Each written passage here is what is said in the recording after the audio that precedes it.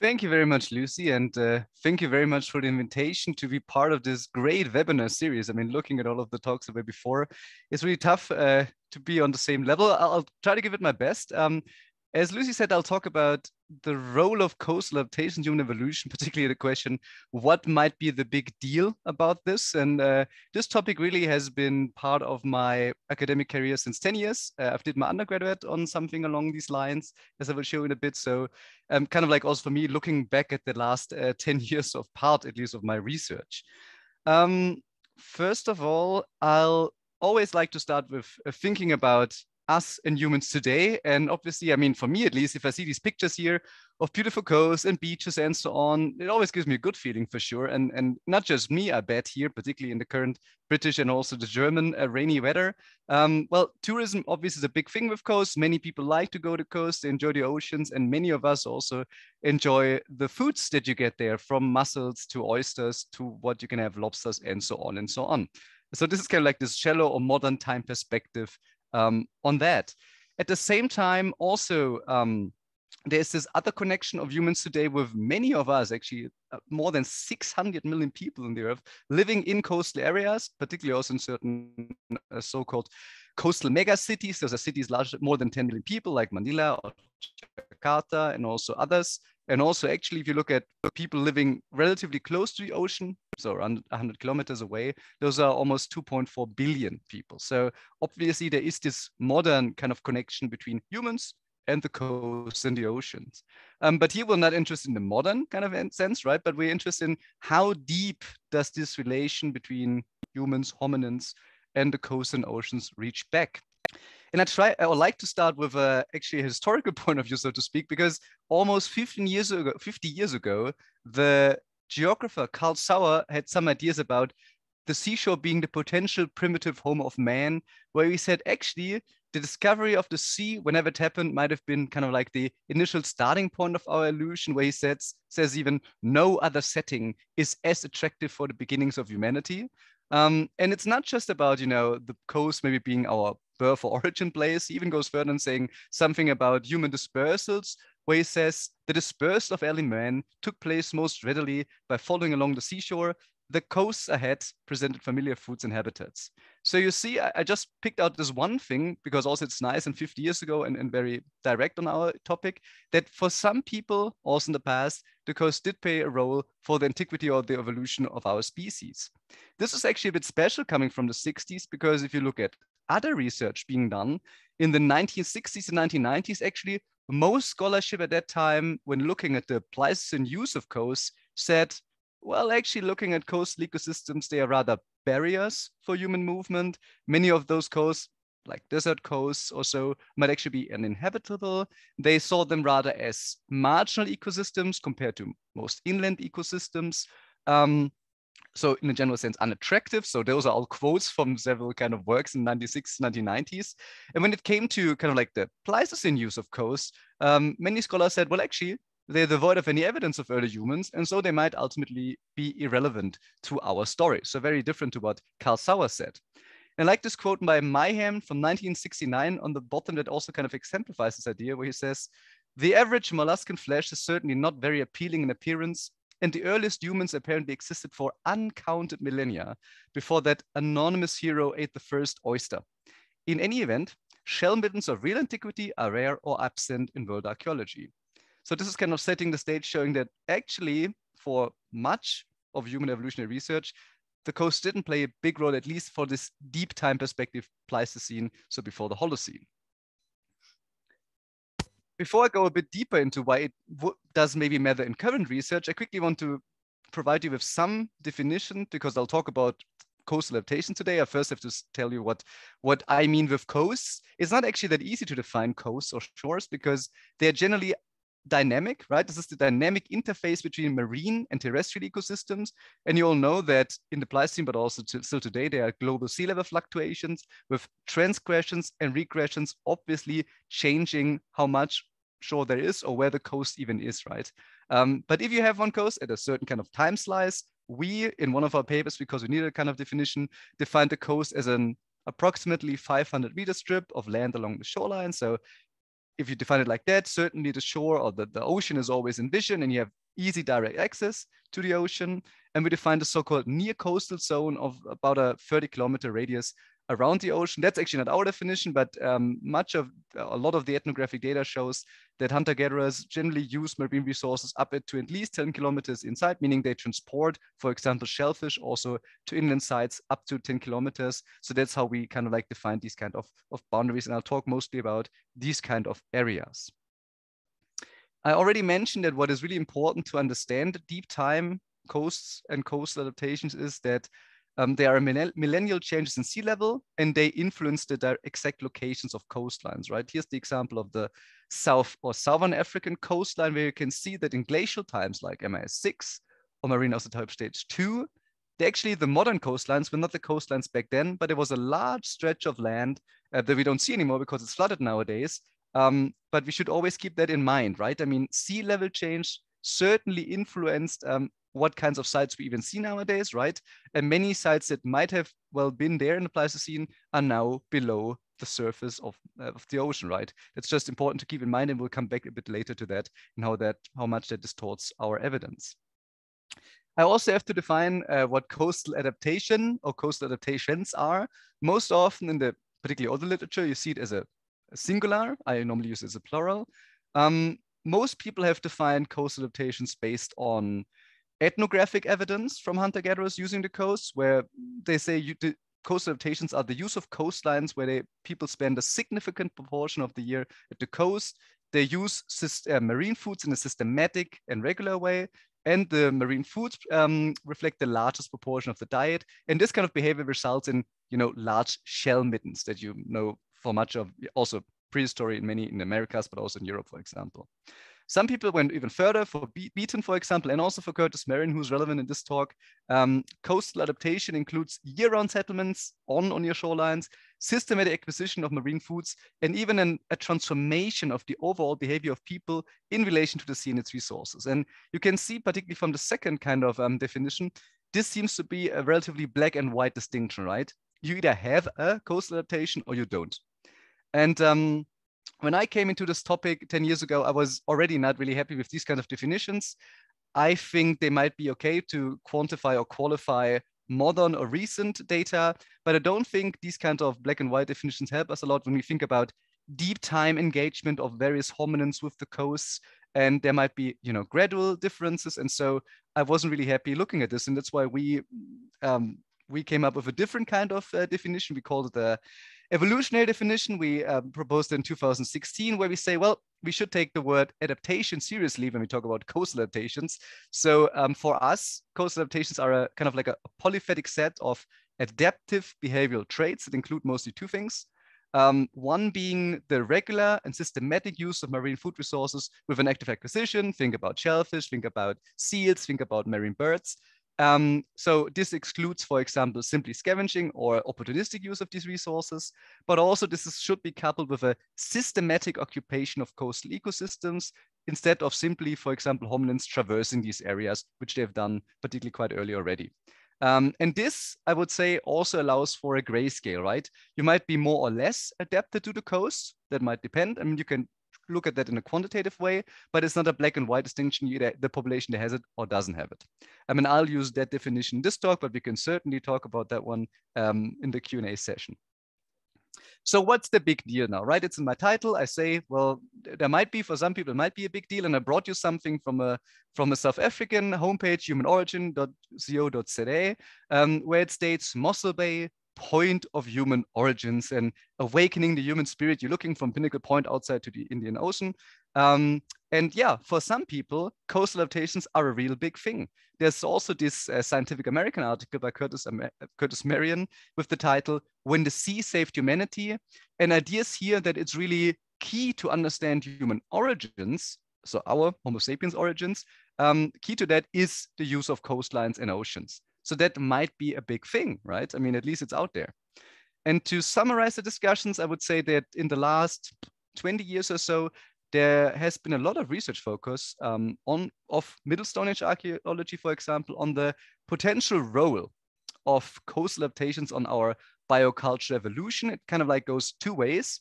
Um, the first idea being that, well, if people adapt to the coast, it includes a novel subsistence strategy with certain dietary implications because you add a new kind of food resource. Um, I'll give you two examples in a second about this model. The one connects marine foods to brain evolution and the other by Curtis Marean to the emergence of Homo sapiens. But there's also a second thread of discussion being that um, for sure, if you settle on coast, that includes an expansion of your settlement system to also include these kinds of coastal ecosystems. And potentially, as already Carl Sauer said, but also other people that you can see here cited, this might have facilitated particularly rapid dispersals out of Africa along coastlines. And I'll talk quickly about that as well. So one model, um, which I call the brain hypothesis, sees a close co-evolution of the consumption of marine foods and the appearance of human cognition. That goes actually back particularly to a paper in 2002 of both biochemists, a nutritional scientist, but also archaeologists, most namely uh, John Parkington has been key here, but there's also even a book on this now.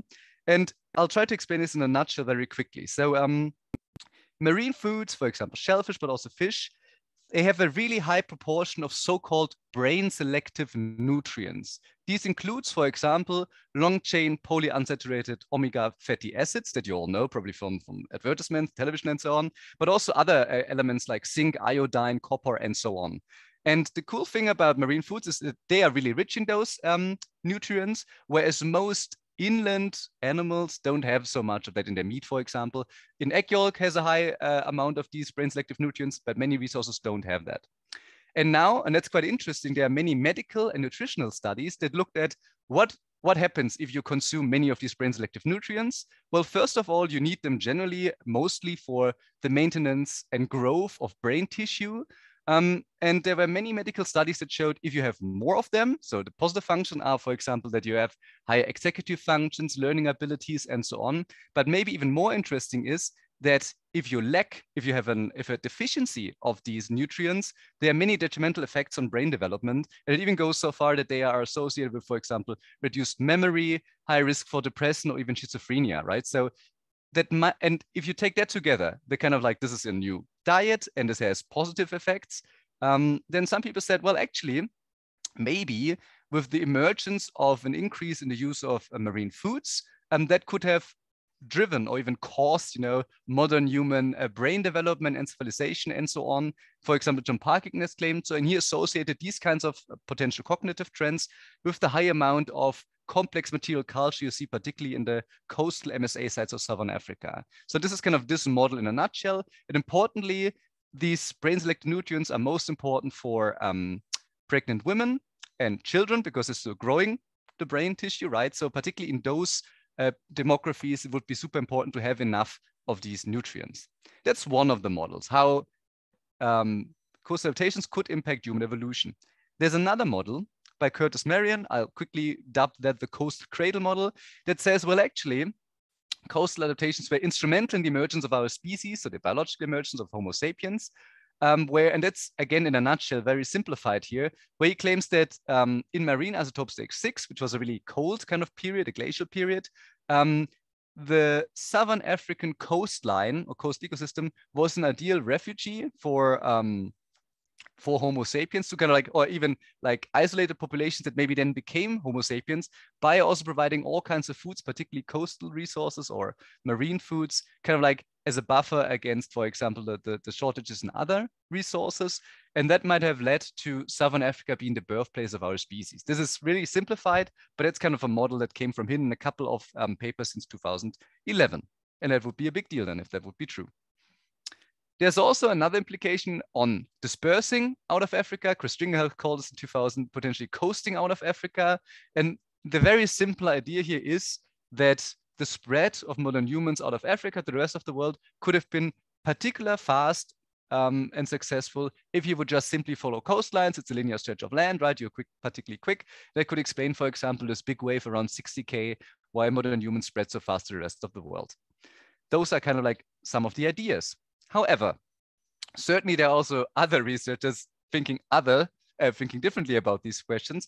And there have been several people calling out that we might actually be exaggerating the actual evidence for coastal adaptations in the Pleistocene, and also with that, the relevance of coastal adaptations in our evolution and our dispersal. For example, the team around Nicky Boivin, but also others have said that actually the evidence for coastal rotations in early modern humans is very little. So the sample size is really, it's, it's not really good.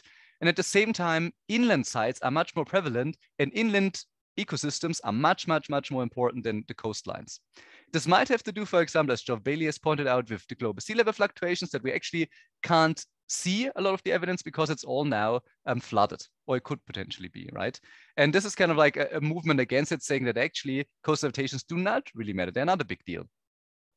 And um, so kind of like when, when I came to the discussion, I thought about, you know, um, are we making a, so to speak, a, a, a midden out of a molehill um, in terms of over exaggerating the actual evidence, or is it really a big thing? What is it now? And I think this is at the heart of my contribution day of my presentation to kind of like figure out which camp of those two might be right or whether we actually have to look at this maybe a bit differently even.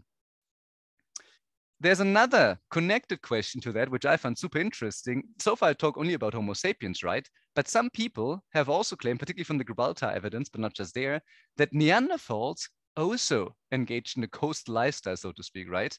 Um, at the same time, though, this got a big backlash from people like Richard Klein, but also Curtis Marean, who claim, no, this is just not true. There's no evidence or no good evidence. This is not correct. Um, I also want to point out that just recently, actually in 2020, last year, um, a team around um, uh, and, and others have proposed, well, actually, we see a couple of really cool sites like Grotta Figueira Brava, um, with very good evidence for Neanderthals. I wrote a, a, perspective on that with the question, well, is this now the same as we see in Homo sapiens, yes or no? And I think this is also a very important question because if you look at this phenomenon in the Pleistocene, we have to do it from an interspecies perspective, I would argue. So this brings me kind of like, this was a preludium to what I will tell you today in the rest of 25 or 30 minutes. Um, and where I say what we really need, and maybe that's a very German style, but uh, I really think we need to look at the empirical record much more. So in a more of a less an inductive sense, saying having a systematic review of the evidence and then going on to kind of look or test different theories and questions. And I don't think that has been done a lot of times actually. And I'll put this on the three overarching questions today. The first is the question, well, what is the actual nature of coastal adaptations during the Middle Stone Age, so for early Homo sapiens? First of all, we need to establish that. Then we can look at the question whether um, what potential role these adaptations could have played for the evolution of Homo sapiens. And then finally, in the last step, I also want to compare this then to the Neanderthals and see whether they exhibited similar behaviors, yes or no. And I would always advocate that if we want to answer these large scale questions, we have to work at different scales of research. I mean, the site scale, sure, all archaeological research starts at a, specific site, ours as well. But this is not enough. A site does not make a pattern, right? So you need to look at other scales. I particularly will look at the, the continental scale of the African MSA record, but also later at the inter intercontinental record to compare between Eurasian Neanderthals and African modern humans in the MSA. Um, and you can see this is really uh, based or I put, published several papers on this, which is kind of like um, what uh, kind of like what I did in the last 10 years on this topic. And it's kind of like summarizing all, all of that in one short presentation. So I'll start, as I said, on the lowest scale, namely a site. Um, in 2011, we excavated the site of so-called Hoedjiespunt 1. It lies on the western cape of Southern Africa. What is cool about Hoedjiespunt is that is, as you can see here, it's an open air site. Most often we know uh, coastal adaptations actually from caves and most MSA sites are cave or rock shelter sites. But this is an open air site, which we excavated 10 years ago. You can see in the bottom left, even myself in the field 10 years ago. Um, in the middle, you can also see Professor Nicholas Conard, who was directing excavations, excavating there at the site. Um, and if you look also at the background of these pictures, you can see that um, we're directly on the coastline, even nowadays. Um, and so what did we uncover at the site? So as I said, it's an open air site. That's very rare for these kinds of early MSA occurrences. Um, we uncovered three kind of like primary occupation horizons here, AH1, 2, and 3. And all of these featured abundant lithics, fawn remains, ochre, and so on so on in association with one another. And recently, this paper is currently in review, but um, more or less accepted. We dated the site to between 130 to 115,000 years before present to, to the Eemian interglacial. And this makes the site also the oldest open air shellfish bearing MSA site in the world. So that's also kind of special, which we know now. What do we actually find at the site in a close up? Well, if you look at that, and that's kind of like a, um, the lowest part of the sequence, chess is just um, natural shelly sediment, so that's geogenic. But above that, in the lowest uh, horizon, you can see you see a couple of these shells, and maybe you can even see a lithic stick out or so. But it's clear that this is not what people normally think about is not a shell midden, so a matrix composed most, mostly of shell, but I would call this a shellfish bearing MSA site, right? There are a couple of shellfish, and if I go a bit further, you can see on the right, normally shellfish are in close association with other fauna material, for example, ostrich eggshells, um, but also MSA lithics. And um, what Catherine Kyriacou did at the site is what she was looking through the, at this from a zooecological perspective, and, and she said that, or she found out that what we see at the site is really a pattern of a selective procurement of only a narrow range of shellfish species. You could, can imagine the Atlantic Ocean is the host to many shellfish species, but here people mostly focus on two, Cymbula granatina and Choromytilus meridionalis, um, and ignore the other ones.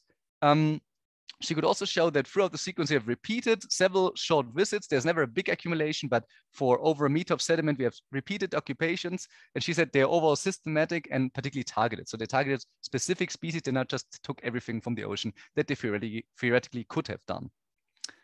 Um, but I also think it's important that all of these, particularly open air sites, but also of these shellfish sites, is that you have to establish a connection between these kind of like different categories of your fauna remains and your lithics, for example, because it could be also natural accumulations.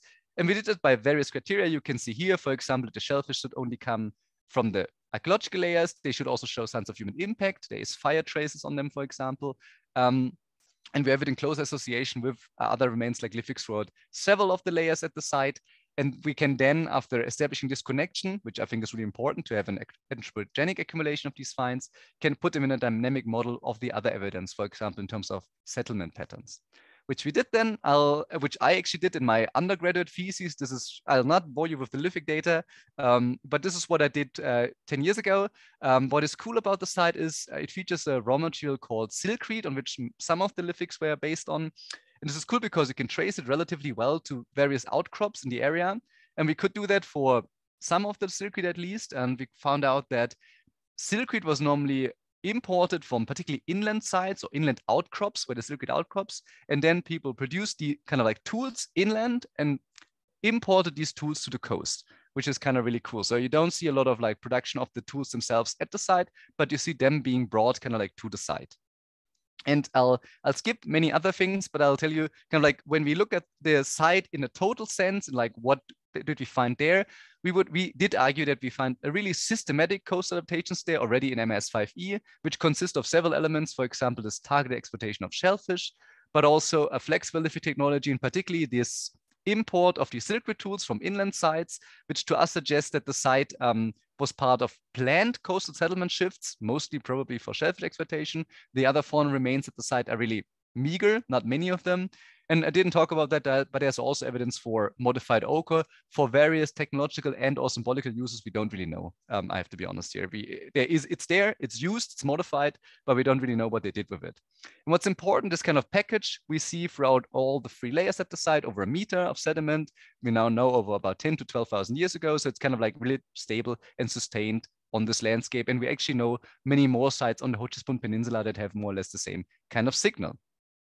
But as I said, I mean, I, I really like the side Hoedjiespunt, but it doesn't really matter on a bigger scale because it's just one side, right? What we really need to do to understand the nature of MSA coastal adaptations is to look at the overall evidence. We can do this in South Africa because South Africa has wonderful evidence both on the Western Cape and its southern coast.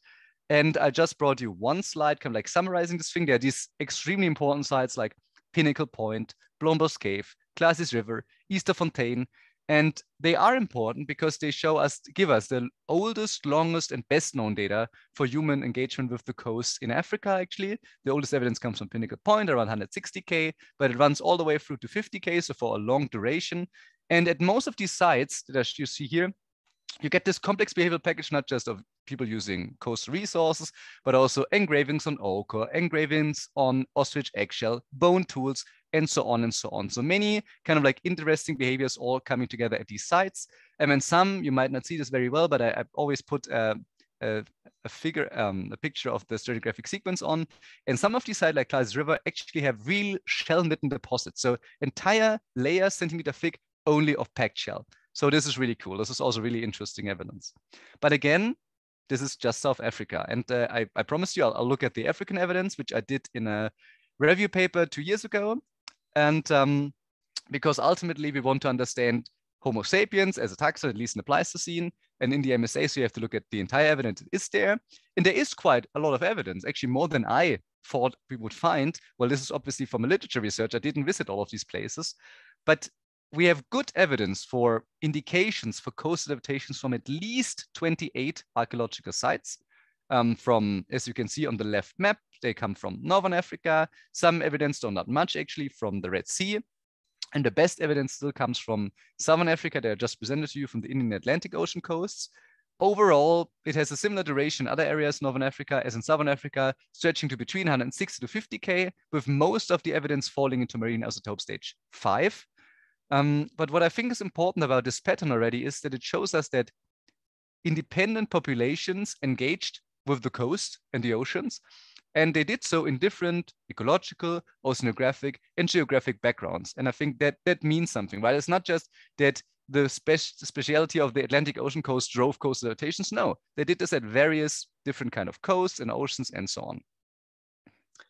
There's also, if you look at the zooarchaeological data and the studies that have been done, and there are quite a couple, um, you can see some interesting patterns. Um, first of all, I want to point your, um, your view on the picture on the bottom right, where you can see very different kind of stratigraphic sequences. And for example, one is Hoedjiespunt and five is Klasies River. And you can see some of the sites really have just a couple of shellfish in a bigger sediment matrix, but some sites, particularly Klasies River, but also Blombos, really have some layers that are completely packed by shells, so real shell deposits with very high MNIs, for example, as well. I mean, at almost all sites, you see a different, a similar kind of abundance of different um, animals that people took out of the ocean. Most always you find shellfish. Um, they're the most abundant remains. You do have a couple of sites, I think seven, eight, or nine now, with sea evidence for seals, some scavenging, some active hunting as well. Uh, marine birds like Cape Cormorant, um, for example, an African penguin is used as well. And a couple of sites for so far with some evidence for fish. It's not really great so far, but there's at least some. But for the other stuff, particularly for the shellfish, all studies that have been done showed there, there's a systematic and optimized exploitation of these resources, mostly taking the high yield resources from the ocean. However, and that's super important, the question, how large was the proportion of these marine foods actually in the diet? And there's a wonderful paper by Jamie Clark and Andrew Kandel where they actually calculate that because you can calculate that.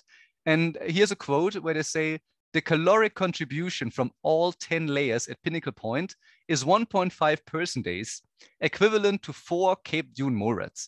And if you know Cape Dune morats, there's not much flesh on them, right? It's not actually that much. And it's true for most sites, not all of the sites, for most sites they looked at, the shellfish did not play a major dietary role in terms of their simple calories if you compare them to terrestrial animals. Terrestrial animals and their caloric yield were always way higher. And that will be important later for our discussion what the evidence or the impact now of these food items might be. At the same time, we can also compare them diachronically. After the MSA comes the so-called LSA, the later Stone Age.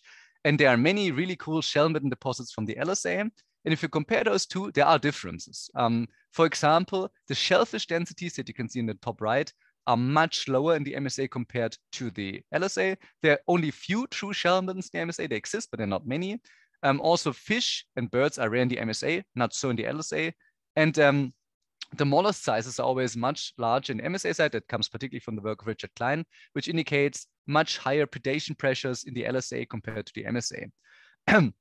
and some people have now interpret interpreted these differences as saying, you know, MSA people didn't have a coast adaptation. But as I said at the beginning, I don't think it helps us to have a black and white kind of scale, but rather I would argue it's a gray scale where MSA people show a, a different degree of adaptedness to coastal niches. So gradual differences for reasons, for example, of um, um, lesser people, fewer people using these resources or other um, questions. But certainly, I would still argue that MSA people also had coastal adaptations in the sense as I defined it at the beginning. Another interesting argument is about uh, the impact of coastal resources on settlement systems. There are a couple of cool studies by the Pinnacle Point team where they modeled sea level changes and site use. And they've found that at Pinnacle Point, but also other sites, settlement intensity at these cape sites increased when the sea was closer and decreased as the sea was further away. So a coastal um, point uh, or coastal location was an important determinant for choosing these sites for habitation. There's also, I showed you for Hoedjiespunt, this import of raw materials from inland sources to coastal sites that actually comes from several sites, not just Hoedjiespunt. Many sites you get high quality raw material being brought from inland sites to the coast, where I would argue this, this, this indicates scheduled coastal visits um, and overall an influence of using coastal resources on overall mobility and settlement patterns of these people that included both inland and coastal sites. and finally, there's also, so far I talked much about mundane uh, things, um, but there's also the non-dietary evidence for the use of shellfish. Um, for example, shell beads as part of necklaces or shell containers as part of ochre processing kits. We now have shell beads in the MSA from at least 10 sites in Southern and Northern Africa, most often on the genus Nassarius. Actually, and I just added this this morning because I forgot it, there was just a recent article from Bizmoune Cave in Morocco that had found even more evidence and even earlier evidence for these shell beads, and quite a lot of them. Um, and they now date to between 140K to 70K, so quite a long time stretch as well. There could have been potential identity or group markers that is informed speculation, but at least they exist for sure. And this shows that coastal adaptations encompass more than just filling your tummy, right? It also encompassed the socio-cultural and symbolic spheres of these early MSA people to a certain degree, at least. So to sum up, what does this now tell us about the nature of coastal adaptations in MSA modern humans? I'll would point out four things. First of all, we see the systematic use of variable marine food resources with a focus on shellfish and a methodical integration of these coastal locations in overall settlement systems that consist of inland and coastal sites. This use goes over more than 100,000 years, so it's quite stable and long term. And I would also argue from the presentation, uh, from the slides before, that there's a verifiable impact on the overall adaptive suite of modern humans. It impacted what they did and, and, and how they lived what, how can we relate this now to human evolution? Well, for me, in a standard sense of thinking about adaptations and, and, and reproductive fitness, so to speak, my question would be how could coastal adaptations have increased the reproductive fitness of their bearers in relation to populations lacking this trait? That would make them adaptive in a classic gold standard biological sense, right? Um, and basically here, I would first point out that these adaptations were certainly sufficient in their nature and duration over many millennia, many generations, to have a potential impact on evolutionary trajectories that doesn't prove anything, but it's kind of like the baseline for any further arguments. I think if we really want to relate them, we need much more evolutionary modeling and combining archaeology, ethnography, but also medical and nutritional biochemical studies, right? As I said a bit at the beginning. But I give you one model that we came up with, which is a bit different from the models I showed you before, where we think this would work and one could test this in the future more. This is kind of a combination of the two models I showed you at the beginning of Parkington and, Marean. It's a bit different, but it's kind of a combination where we would say that the key thing about coastal adaptations is that they have marine resources as a fallback food with brain selective nutrients. What does it mean? I would say the two cool things about coastal adaptations are one. First, if you have some kind of seafood in your diet as a passive consequence, because it wasn't an intentional choice, you have a higher intake of brain selective nutrients that's good for your health and particularly good for your brain development, particularly in children and, and, and, and but also in, um, in pregnant uh, women. But also at the same time, going to the coast, right, is an active choice. It's an active choice of going to the coast. And why was that? Maybe it could have been to buffer against food shortages, right? I mean, it could be that particularly in the highly seasonal areas of Northern and Southern Africa, at some points, due to drought or whatever, um, you don't get enough terrestrial resources, not enough meat, for example, but you could relocate, if you're able to, to the coast and extract resources from there that helps you to, to survive through these different difficult times. And if you combine those two lines of evidence, there could be three kind of consequences. The first could be a potential decrease in population level mortality rates because you buffer against food shortages. Um, but also with a higher intake of these um, brain selective nutrients, you would have a higher average number of viable offspring with optimal brain development, because certainly there's phenotypic plasticity in here, but you could fuel your brain, so to speak, with enough of the good stuff um, to make it optimal. And in combination, it could lead also to longer offspring survival that could increase propensity of reproducing, so higher fecundity. This is a very classic standard evolutionary argument. Certainly it's difficult to test, but it's something that I would say is um, is possible from the evidence I presented you so far. And I'll, I'll be happy to talk about this a bit more later. Um, what about dispersals? How could these MSA coastal adaptations have anything to do with coasting out of Africa? Well, certainly, I would say, from what I showed you, it's clear that humans were capable of efficiently exploiting highly variable coastal niches, right? Northern, Eastern, Southern African coastal niches are quite different. And so that would be good for them, like for humans, like if they go out of Africa, um, for unlocking novel corridors for successful and rapid dispersal, potentially again.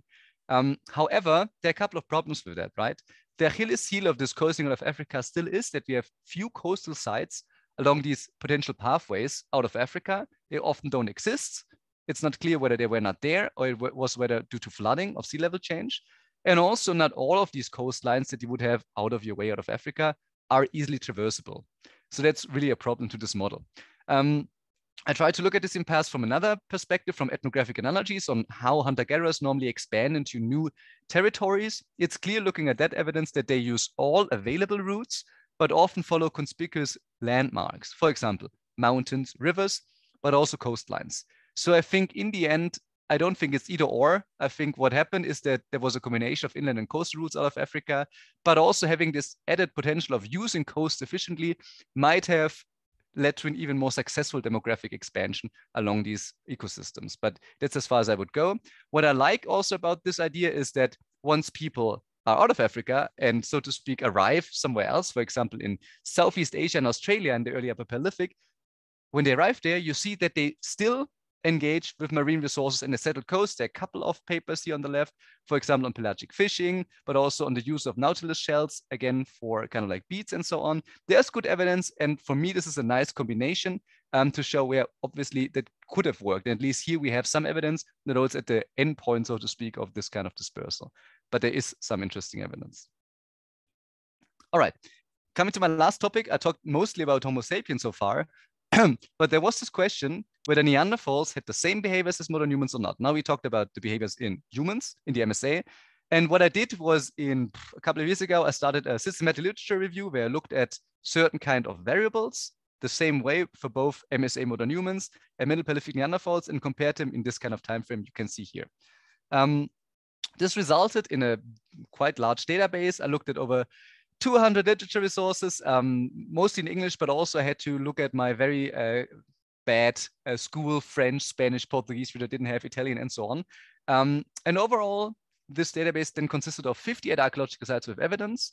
Um, and I'll run you quickly through what that means in terms of comparison between modern humans on the one side, right, for the MSA in Africa. We talked about that, so I can skip this quite quickly, but also what the same kind of evidence looks for in Neanderthals and what that might mean.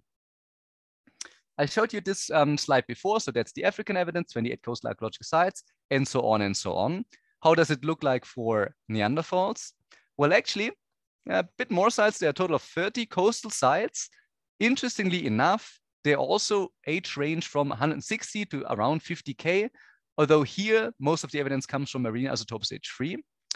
Most of the sites come from the Mediterranean coast, but there are also some from the Portuguese Atlantic coast and Atlantic Ocean coast, um, so again, this shows that also Neanderthals were able to use various coastal ecosystems, not just one or so. Um, the problem here being though that many of these sites derive from old excavations with few taphonomic studies. So some of these could also be non-anthropogenic use of shellfish. It's not often, uh, sometimes not clear. That's a bit of a caveat here for the Neanderthal sites that I cannot solve at the moment. Um, we can also look at marine subsistence. I showed you this picture before for the MSA modern humans. How does it look like for Neanderthals? Well, it looks a bit different. Um, if you can see the same kind of like abundance scale is there again. So if you see uh, coastal sites with remains of marine foods, it's almost always exclusively shellfish. Um, but the intensity of the use is much lower, so the numbers are lower. As far as I know, there's also no real shell deposit of any Neanderthal site and the diversity of resources is lower. If you look at the MNIs of, for example, seals or fish, they are super, super, super low. So there's not really a big engagement with these other resources as far as we know. Again, the problem is old excavations and so far few quantitative zooarchaeological studies at these sites. Some Italian sites, some of the Portuguese sites, and some of the southern Spanish sites are quite good, but many sites just have no good no good data that I could um, use for this comparison, for example. I haven't shown you this um, for modern humans yet, looking a bit at site use from another perspective, where if you look at many of the coastal MSA sites with evidence for shellfish use, you see they're often long sequences with multiple occupations, all the way, for example, Pinnacle Point, 160 to 90K, but also other sites, so many long sites. Many of these sites are residential sites that feature high diversity um, and density of finds, as you can see in the bottom left. And again, looking at site use, you have frequent hearth features and site maintenance behaviors at these sites. For Neanderthals, it looks again a bit different. Um, actually, most of the sites we have are short sequences, often with just a single occupation horizon, and that's it. There are a couple of other examples like Bajondillo Cave, Grotta dei Moscerini, or Ujazzli Cave, where these are actually longer sequences with multiple occupations, but they are more the exception than the rule so far, at least. Figueira Brava, one could add to that now. Um, most of the time at these sites, the density and variety of finds is rather low, mostly it's lithics, nothing else then. And also there's not much evidence for most sites for longer term stays in terms of hearth features, maintenance, and so on and so on. Also, I showed you this about, you know, um, settlement systems and coastal ecosystems for modern humans. What's interesting about the Neanderthal part is that actually many coastal middle Paleolithic sites, or actually more than I showed you, exist but they often don't have any evidence for shell fishing. And that's actually something we normally don't see in the MSA. If you have a coastal site, almost all the time you do have some evidence for at least shell fishing, for example. But what you also see is that almost more than two thirds of the Neanderthal coastal sites show the import of tools from high quality raw materials from inland sources to the ocean. So this again not just indicates for me at least scheduled coastal visits, but also a very a system of very high mobility, higher than, for example, the modern humans likely. Um, but certainly this is this is quite interesting. And um, the last point I'll, I'll, I'll compare is um, shell beads and shell tools. As I told you, there's very good evidence from many MSA sites with dozens of shell beads nowadays. For Neanderthals, not so much. There are two sites with potential evidence for shell beads. Um, it's a bit debated, but it could be. But what I find really interesting is that if you look at um, Neanderthal sites, you often see that they used um, shells as tools. So they made scrapers out of shells at at least 13 sites, so quite a lot of sites. And we don't have any evidence for that behavior at modern humans yet. Not, I'm not sure why that is. Maybe people haven't looked so far for it, but um, let's see whether that pattern still holds up. The question now, after everything I told you, so what is it now? Is it the same or not? Um, do Neanderthals have coastal adaptations? I would argue, yes, they have. Um, because if you compare the entire record, and this is kind of like from this paper where we com uh, compared this evidence, then I would argue that we see more similarities than differences but there are differences, right? The differences exist. I showed them to you, and I would say they are mostly gradual in nature. So it's not a black and white picture once again, but it's more a gradual picture of modern humans using coasts more intensely, settling more intensely in them, and using more marine foods. Um, but we see at least some of these behaviors in a less uh, pronounced sense in Neanderthals. And I think that's that's, that's important, kind of having this nuanced view on these uh, on these things.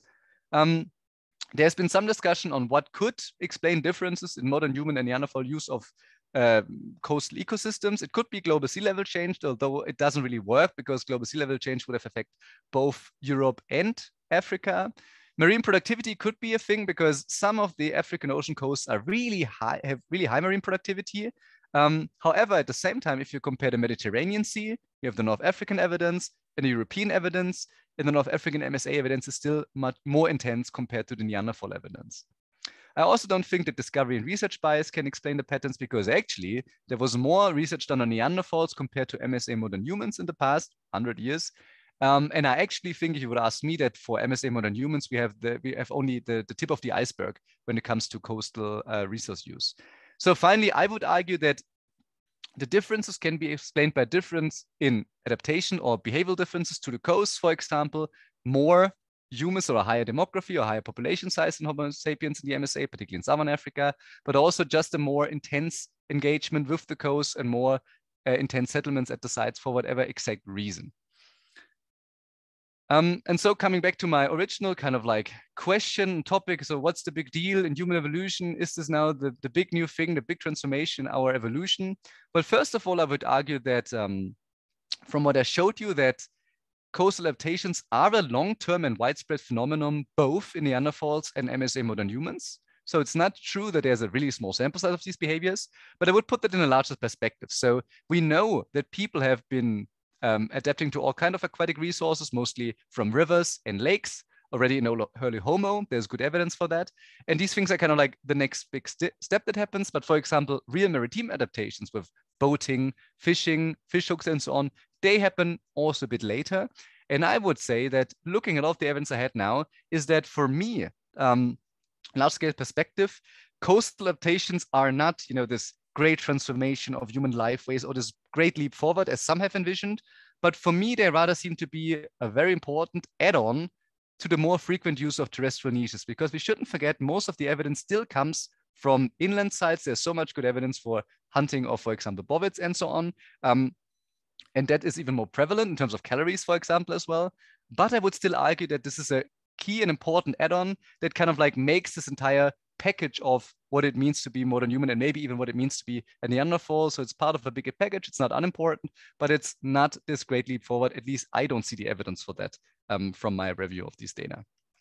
Um, what I found interesting is sometimes uh, I get asked the question, so well, uh, can this even be a big thing, coastal adaptations, if you say that, you know, the difference between Neanderthals and modern humans are relatively negligible, and so it couldn't be part of the modern human success, if you want to call it that way later. Um, I would say that's a big and interesting open question because um, the question begs like, if you have gradual and small scale differences, they could amount via threshold effects uh, to bigger things down the road. This is completely unstudied, right? I mean, this is not clear. I'm not sure about this. I haven't thought too much about that yet, but I would say it is a very interesting topic for future research to think about what could these gradual difference between species, for example, in coastal adaptations, mean for the evolutionary trajectories and dispersal capabilities.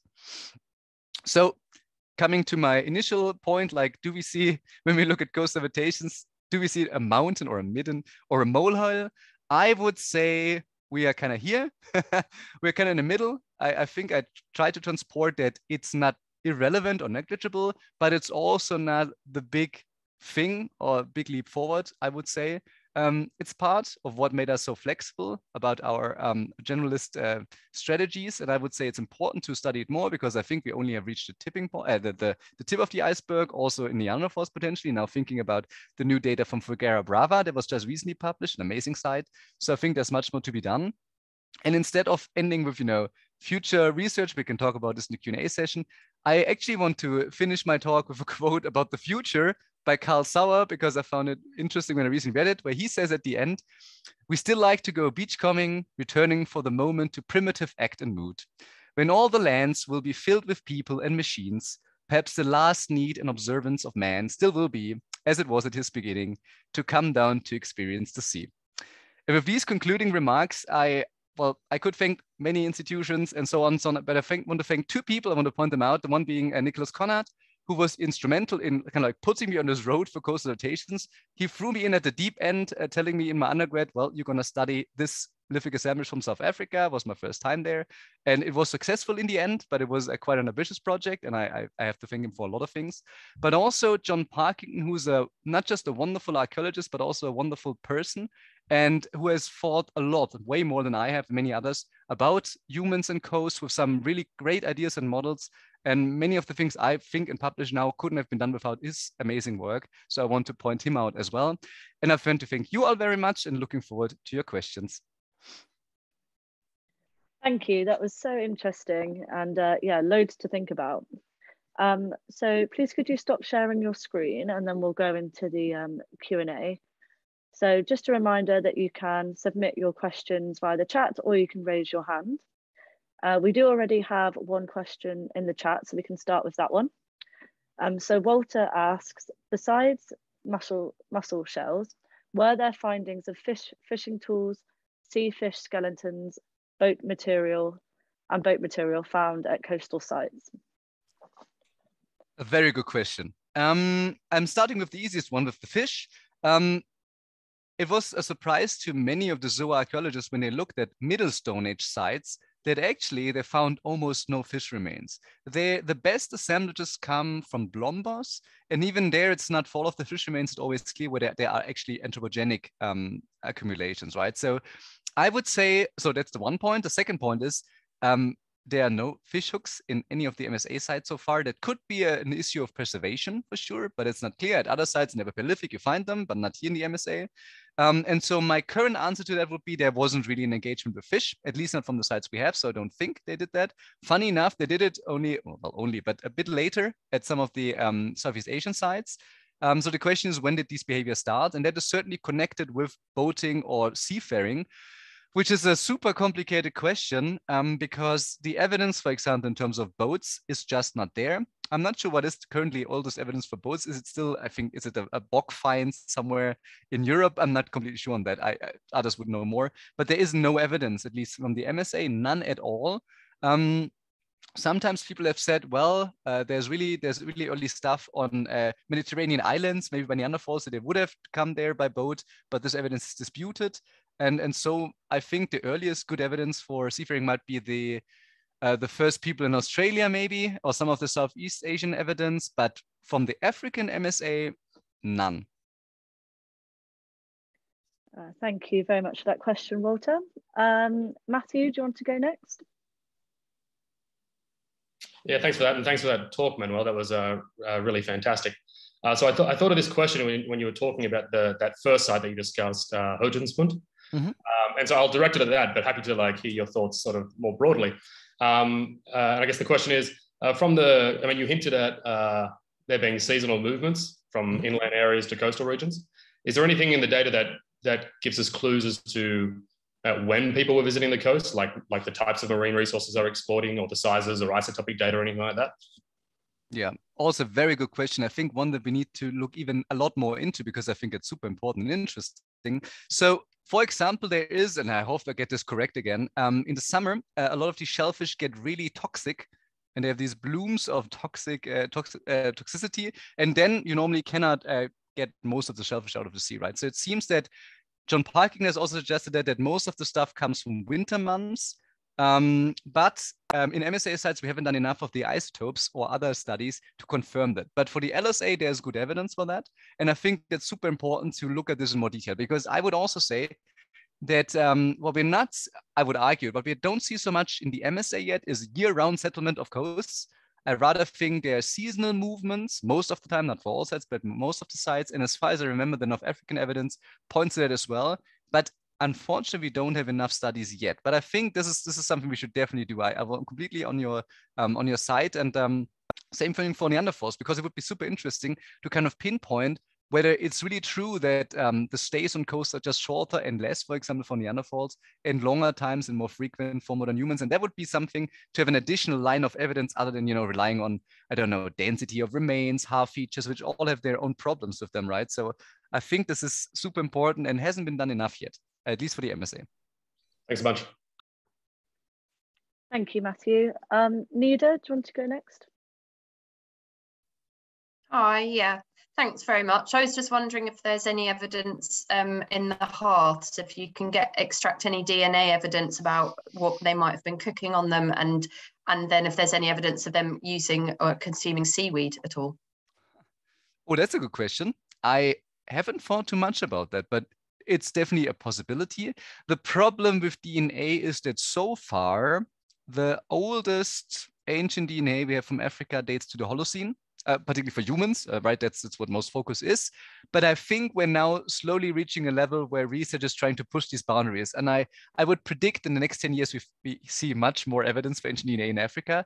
And um, I think we should do something along those lines, right? To actually, I would say maybe not just um, DNA, but I would rather go for um, paleoproteomics. So you know, um, the ZooMS studies, the zooarchaeology yeah. by mass spectrometry, right? I think I would rather go that way because it's it's easier, it's cheaper, um, and for that, we could, because also there are many just, you know, broken fragmentary remains. And I think we should do much more than that. I'm not sure how far you can really disentangle what was actually cooked, right? Because many of our shells, for example, are burned. But the question is, when did they enter the fire? How did they enter the fire? You could probably look at um, the temperatures of them, how high they were heated. Um, but again, that hasn't been done yet. But it would be an interesting way uh, of future studies. I agree. I mean, there is, I think, because there are not that many sites in the end. And I think we need to get all kind of evidence we can get from these sites. That would be an interesting additional avenue to look at these things. So I think that that's something I also have to think about. Thank you. Thanks. Thank you very much. Um, so we have a question in the chat from Tim. Um, was there any evidence for terrestrial meat consumption at the South African sites? Very good point. I completely skipped over that. I'm gonna be uh, honest. Um, so let's take which side? We can take any side. So at all of these sites that are presented, there is also evidence for terrestrial use of particularly bovids. Most of the time, it's bovids. And um, I'll not take Hoedjiespunt example because our ZOARC data is not so good there. But if you look at the evidence from Blombos or from Pinnacle Point, um, there's much more or much more terrestrial stuff than from the ocean, particularly if you look at the, like I said, at the caloric value of them, but also just the bones as well. I mean, there are a couple of layers, for example, at Klasies River, where you don't have many bones because it's full of shellfish, but normally you get like a sediment matrix. And with that, you say a couple of stones, a couple of fawn remains, and even less shellfish. So that's why I try to argue that, you know, you can't forget about the terrestrial stuff. It's super important. People still hunted these kinds of animals, but they also added, you know, these coast uh, coast resources. I would call it a healthy diet, right, which is diverse. Um, but for sure, they did they did that. They had both at these sites. Yes. Okay, thank you. Um, so we have another question in the chat from Cecile. I hope I've said your name correctly. Um, could the import of raw material to coastal sites observed in Neanderthals be evidence for exchange with inland groups as opposed to high mobility? Ah, that's a good point. Um, theoretically, yes, um, that's certainly a possibility. The question would then be, and that's always, you know, in, in the Stone Age difficult to distinguish long range distance mobility, like, you know, people moving somewhere from the fusion to people trading stuff. Um, from Neanderthals, it's super difficult to say. I can tell you that in the upper Paleolithic of Europe, for example, we often have, for example, shellfish, well, but beauty, beauty shellfish, you know, like not for food, but for other stuff, um, that, that travel for hundreds of kilometers inland, where it is thought that these were actually traded down the line somewhere, which is probably better evidence. Here for the stones, I think I would say it's more likely that it was part of, you know, like of the, the, the, let's say monthly foraging round where people really move over the landscape and pick them up, kind of like an embedded procurement of livings and then take them to the coast. But to prove that, to prove or to distinguish between those two interpretations is not easy. So I think we should keep an open mind to that suggestion. It could be. Um, I, I don't think that it will be, but it, it is an interesting idea. Um, I think we should take this into account and try to think about how to test these with different expectations. Um, but I would say for the moment, there's no other evidence for that really, so I wouldn't I wouldn't go for it. Okay, we probably have time for one more question. Um, how far away? Uh, so this is from Gabrielle. How far away are the sites from freshwater sources? Are they all close to river mouth? I think that's what to say many are many of the sites are really close to them because yeah it's a good point. I mean one of the key resources for all humans is fresh water right? Particularly if you don't have big storage uh, uh, facilities for them and um, most of these coastal sites have rivers nearby or other things. Sometimes there could also be groundwater seeping through the through some of the coast, which you could uh, access. But normally, yes, rivers or deltas or whatever, a mouse are most often close. Klasies River mouth, for example, right? It's in the name as well. Um, most of the I have to think about Hoedjiespunt at the moment, where the next river is it's not directly across, but a couple, two or three kilometers away. So it's not that far away. So, but it's true that would speak also against staying at sites, at coastal sites where rivers are far away, because yeah, you need fresh water at the same time. But most sites have fresh water relatively nearby. So Gabrielle's just put in, hmm. thanks, but doesn't this restrict coastal dispersal? Yeah. I agree. I mean, it would. I mean, if you have a, if a, if you would imagine a very long strip of the coast without any potable water near, then yes, this is definitely a restriction. That, that's why I would, would argue that at many coastlines, it works quite well and many mouths and so on, or, or, the rivers are not that far away. But yes, for those where you don't have that, I would also say I can't see, you know, all the time hominins simply moving along those kinds of coastlines. This is why I, this is why this coastal highway doesn't completely work. It works in some areas, but not in others. So it's an important caveat um, and good that you're pointing that one out. Okay, so we will uh, finish off there. Thank you very much, Manuel, for such an uh, interesting talk. Thank and you. thank you everybody for coming. Um, next week, uh, we have our next speaker, which is Dr. Heidi Colleran from uh, Max Planck Institute for Evolutionary Anthropology. Um, he'll be talking on cultural evolution and human reproductive dynamics. So hopefully we'll see you all there. So thank you very much again and um, see you again soon. Thank you as well. Bye. Thank you. Thank you. Bye bye.